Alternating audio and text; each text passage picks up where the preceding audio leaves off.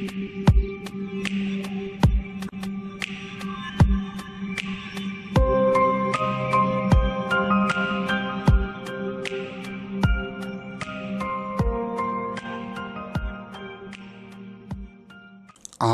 wunderschönen, da bin ich auch schon wieder, euer Odin und ich begrüße euch zu einem neuen Video.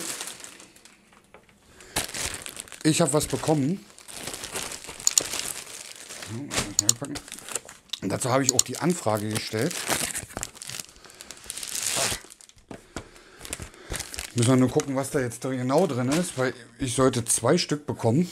Und zwar ist es ein Controller von, ja, sieht man das so? Easy SMX. Da hatte ich schon mal einen Controller vorgestellt.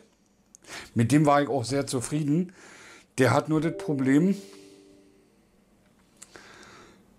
dass meine Katze den USB-Stick für den PC angeknabbert hat und der jetzt nicht mehr funktioniert. Ich habe vergessen, mir das Messer rauszuholen hier. Ah.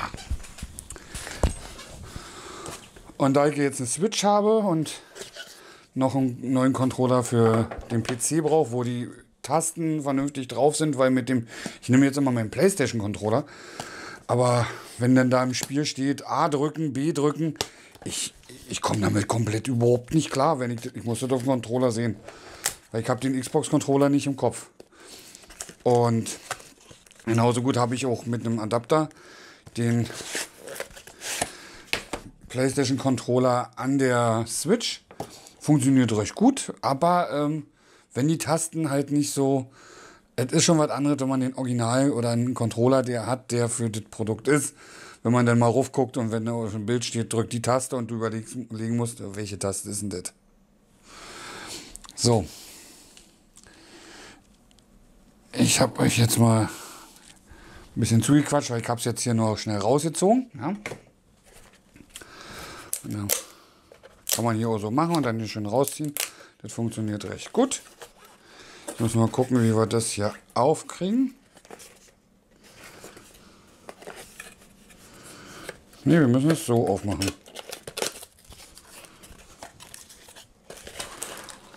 Achso, dann müssen wir das erstmal hier noch rausklappen.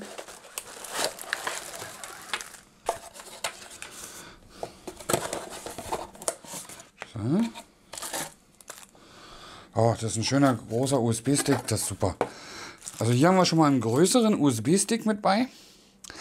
Der letzte, den ich hatte, bei dem anderen Controller, der war etwas kleiner. Ich habe hier einen USB-Stick mir hingelegt. Hat die Katze gerade noch runtergeschmissen. Der letzte war etwa so groß. Und so müsst ihr euch das vorstellen. Wenn, das bis hier ist dann im PC drin und das hat die Katze angekaut und dadurch ist der dann uffigang und hat nicht mehr richtig funktioniert. Welche Katze es war? Tiger natürlich. Hier haben wir, sieht aus wie ein Druckknopf, aber ich denke, das ist nur optisch. Wir packen das mal alles aus.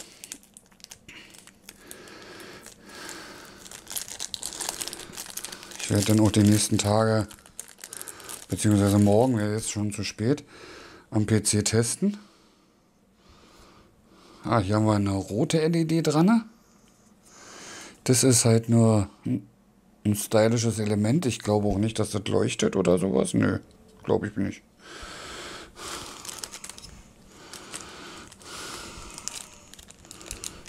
So.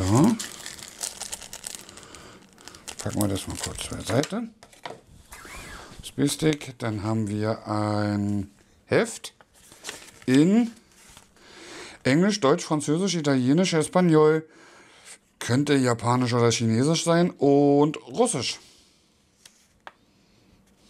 Äh, Deutsch ist Seite 8.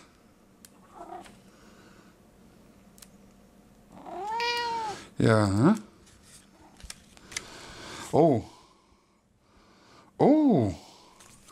Das erste Mal, dass ich ein, ein Anleitungsheft habe, wo die Schrift groß genug ist.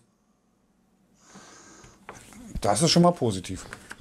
Weil sonst sind die Dinger mal so klein geschrieben, damit du nichts siehst. Ja, dann halt hier nochmal, ob wir zufrieden sind.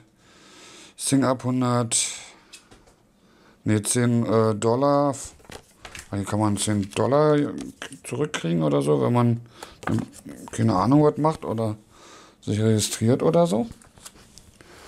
So, dann haben wir hier nochmal ein USB. Ich muss mir echt demnächst auch nochmal USB-Kabel kaufen. Ich, äh, mir gehen meine USB-Kabel aus. Keine Ahnung, wo die alle hin sind.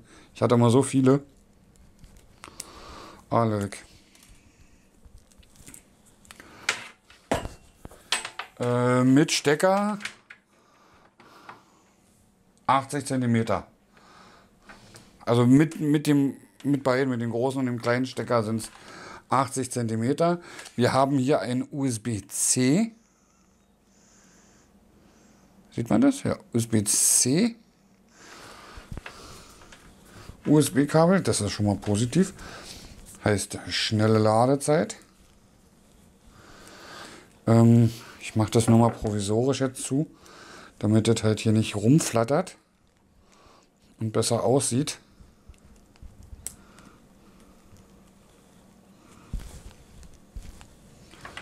Und dann haben wir hier das Herzstück, den Controller. Oh, der fährt, oh, der fährt sich aber gut an. Also da haben sie auf jeden Fall von Playstation mit ein bisschen was dazu genommen. Oh, der hat hinten so Knöpfe, das habe ich gerne gesehen.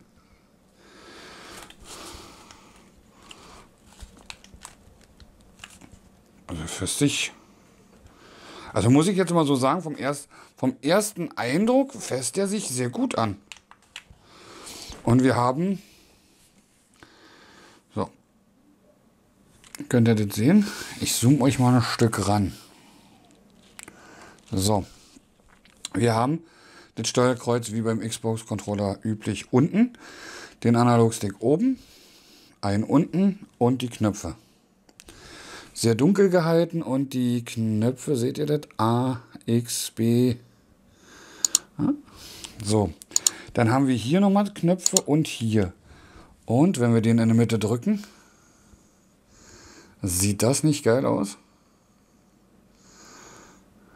Abends beim Zocken bestimmt richtig geil. Und vor Dingen siehst du denn richtig schön, welchen Knopf du drücken musst. Finde ich super. Wir machen aber erstmal wieder aus. Ich hoffe, der geht wie der andere Controller damals. Ja, ihr drückt halten, dann geht er aus. So, dann haben wir hier den Mode und den Startknopf. Und hier haben wir Back oben. Hier oben Back und unten ist Turbo. Ähm, Turbo kenne ich von den PlayStation 3 Controllern damals noch. Da gab es auch so ähm, Dritthersteller-Controller. Da hat man eine Turbo-Funktion gehabt. Da konnte man dann zwei Knöpfe gedrückt halten oder einen Knopf gedrückt halten und ein Turbo hat den entweder immer wieder gedrückt oder gedrückt gehalten. War zum Beispiel gut bei Trophäen, wenn man halt äh, viel schießen musste, einfach Turbo und dann lassen. Oder bei Red Dead Redemption. Äh, nee, Quatsch, bei Darksiders war das, äh, reite so und so viel. Ja, da hast du halt dann halt äh, Turbo gemacht, damit ihr drückt gehalten wird, mit, mit einem Gummi, das so festgemacht, äh, über, immer über den Controller rüber, so, mit so einem Haargummi, damit er einen, einen engen Kreis macht. Und dann konntest du in der Zeit, was weiß ich, Haushalt machen oder was einkaufen und der, und der Pferd ist dann halt bei Darksiders im Kreis geritten und du hast dann halt deine Trophäe gekriegt. Unten haben wir dann nochmal Beleuchtung, denke ich mal, und Vibration. Das werden wir gleich mal testen. Wir haben ihn jetzt angemacht. Na, vielleicht funktioniert das ja auch nur, wenn der mit dem USB-Stick verbunden ist. Machen wir wieder aus. Wir haben oben noch den USB-C. Und das fragt euch, was das ist. Ich denke mal, ohne jetzt die Anleitung zu kennen, das ist eine Vorrichtung, dass man so eine Halterung befestigen kann, wo man sein Handy hier ranmachen kann, wenn man halt, äh, ja, wie heißt das bei der Xbox? Ja, wenn man halt auf dem Handy weiter zocken will. Dann haben wir hier die Tasten. RB und RT. Ähm, oh, verkehrt rumgeschrieben. Wartet mal, ich muss die Kamera muss ich ein bisschen einpegeln. Doch, da jetzt. Das ist halt gut, wenn man von so guckt. Also praktisch, wenn, man, wenn ich jetzt den Controller so halte und hier rauf gucke, sehe ich RS, RT. Also ich zeige es euch nochmal. So.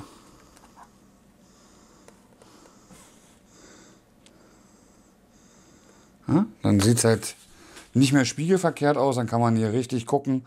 RB, RT. Also wenn man sich an einen Controller neu gewöhnt, ist das halt richtig schön.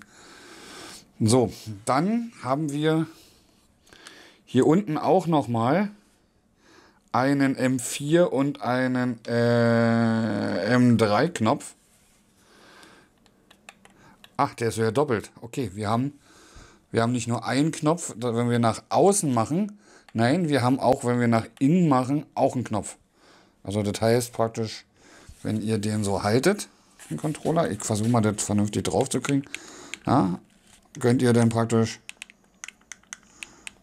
so benutzen oder halt hier oben für zurück irgendwelche Knöpfe, wo man halt nicht so oft hin muss. Ja, kann man dann halt hier auch nochmal Knöpfe belegen. Also haben wir praktisch nicht nur zwei Knöpfe auf der Rückseite, wir haben im Prinzip vier. Zwei links, zwei rechts. Und das ganze äh, Rückenteil, ab hier, bis hier rum,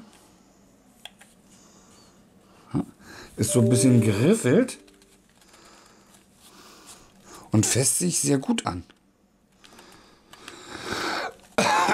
Die, die Sticks finde ich jetzt äh, mit der flachen Variante jetzt aber da ist auch Anti-Rutschzeug.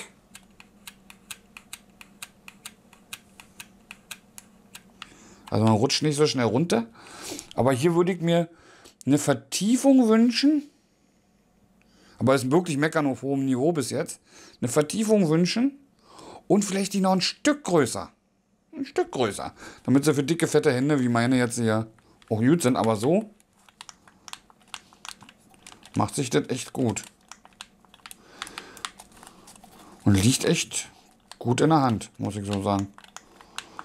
Auch im Vergleich dazu, dass ich PlayStation-Controller gewöhnt bin, liegt der wirklich, wirklich, wirklich gut in der Hand. Aber ist, wie gesagt, jetzt auch erstmal mein, mein erstes Betrachten, mein, ersten, mein erster Kontakt damit.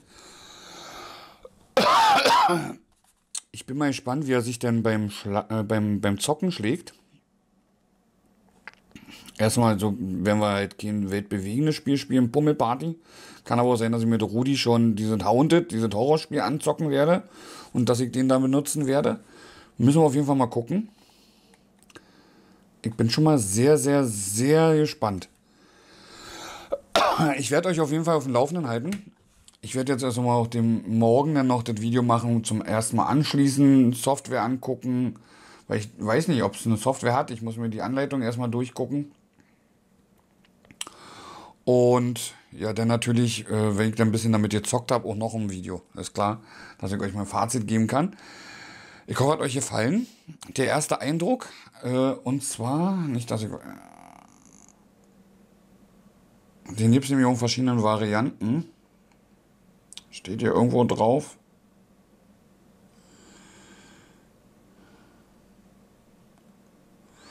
Hier stehen nur Adressen, aber hier steht halt jetzt nicht direkt drauf, welche, welche Version des Controllers das ist. Doch hier unten. ESM 9110. Ja, den gibt es halt auch noch mit verschiedenen Farben und so, aber immer beleuchtet. Und den hatten sie vor kurzem halt auch im Angebot. Hat ein bisschen länger aus China bis hierher gedauert, äh, sonst hätte ich das Video noch zeitgenau machen können, wo das Angebot war. Aber egal.